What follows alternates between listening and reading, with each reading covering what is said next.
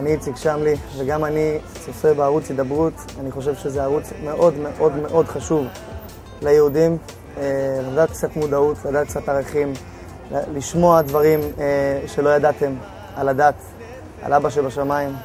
אה, ולכל מי שכן יודע, להתחבר יותר, לדעת יותר דברים על העולם החילוני. זהו, אני מאוד מאוד אוהב את הערוץ הזה, ומקווה שגם אתם.